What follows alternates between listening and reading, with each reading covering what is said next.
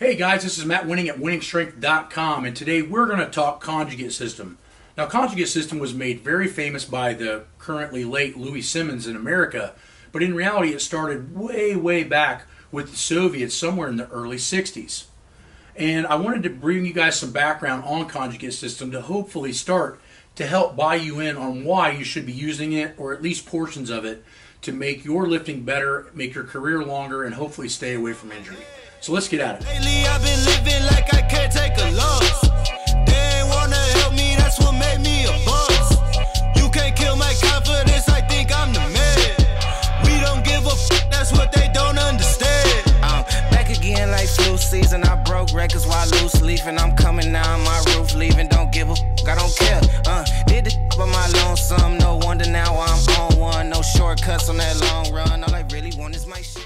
Well, we can all give credit to the Soviet Union when it comes to training. Why?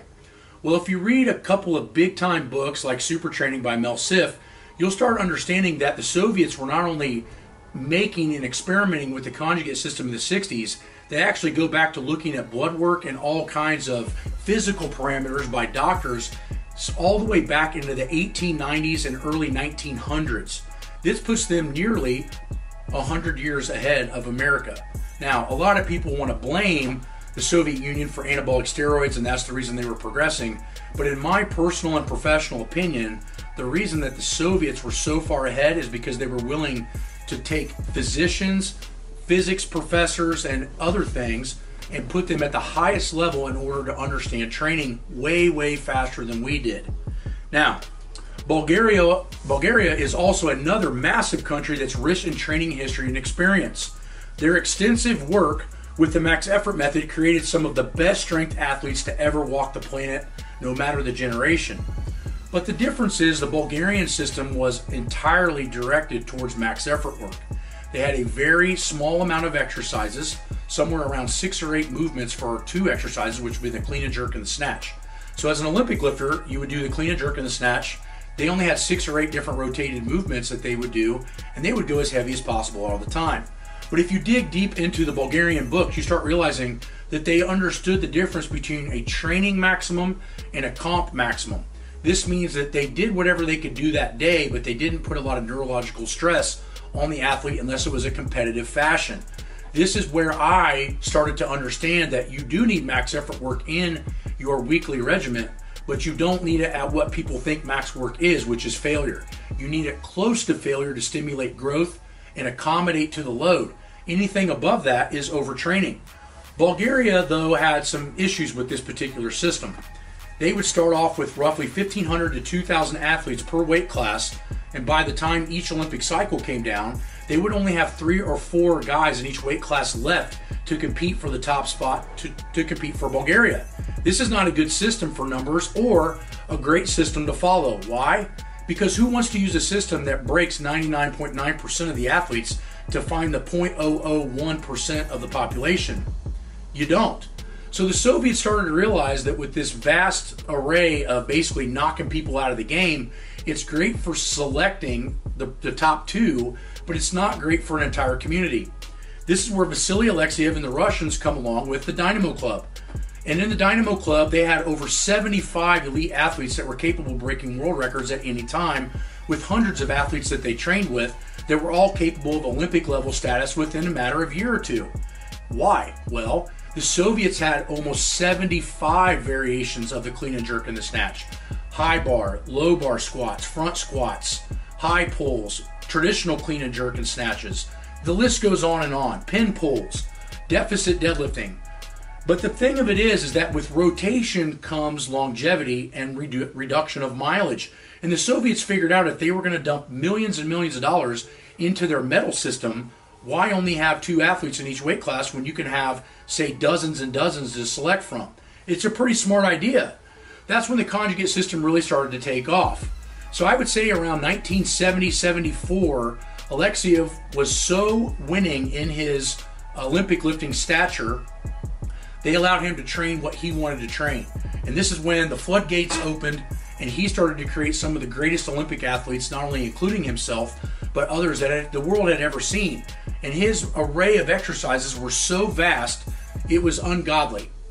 this started to strike a lot of controversy because we didn't learn about this stuff until Louie Simmons in the 90s, where Louie was getting these these uh, translated texts over from the Soviet Union. So in reality, the conjugate system is very old. Now, since the Olympic lifting only has two lifts, the number of exercises had to accumulate more and more and more. And this is what's really funny. As they did a measurement of these athletes and were asking them questions, only two of the athletes out of the 100 or plus team members were satisfied with 70. They wanted more variation. This is interesting because what we start to find is that psychological burnout is usually the main reason that most people quit training. They either get stale, they get bored, or they get injured.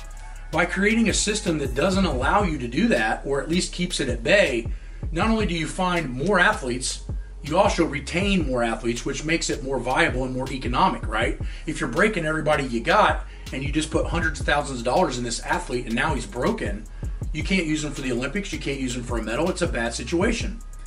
The Soviets also needed to be credited for the dynamic effort method. They started to realize that not only do they need to rotate movements, they also need to rotate percentages. Now, it doesn't mean that the intent of the lift isn't insanely high. So, if we look at the dynamic effort method, which is a sub-maximal method utilized under high rate of force or maximum intent, you start realizing that the motor unit recruitment to maximum effort method is very, very similar. What this means is that if you're rotating movements, say every 72 hours, then what you can do is do a heavy movement and then a fast movement. This is where Louie figured this out is that you can move a lightweight fast and it's going to have some of the same characteristics as moving a heavyweight slow. The rate of force is still very similar.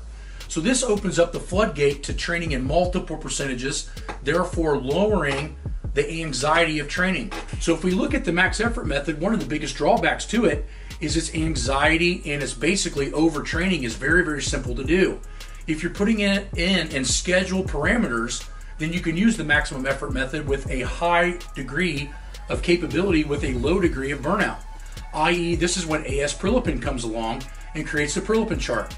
As we can see in the Prilepin chart, we are only supposed to max at a particular muscle group about four times a month. This means one time per week. So you can only go above or at 90% four times per month in a particular muscle group, i.e., the maximum effort method done every 144 hours. Okay, so as we break this down, we start realizing that not only Louie, but the Soviets were very mathematical and very in tune with how to train and how to get better. Why is this not absorbed in America? Simple impatience. Most people are so impatient that they're not looking at what's going to happen next year, they're looking at what's going to happen next week. And that's why linear periodization is so effective in the West, is because it starts to pat everybody on the back every week with a different parameter all the time. Well, the conjugate system does the same thing, but it rotates the exercises and it maintains percentages. This means that in a, in a linear periodization sense, you're only going to touch 90% maybe once every 10 weeks whereas the Soviet system would touch it once per week, and the Bulgarian system may touch it anywhere from three to four times per week. So we know one is massive overtraining, we know one is somewhere in the middle and close to optimal as possible, and we know one is not correct because you're not touching maximal weights often enough to get stronger. So I hope this starts to help you guys understand that not only was Louie Simmons onto something, but what he was onto was at that time 30 and 40 years old by the Eastern Bloc countries. The reason that you can only use old Eastern Bloc country research and data for training is very simple.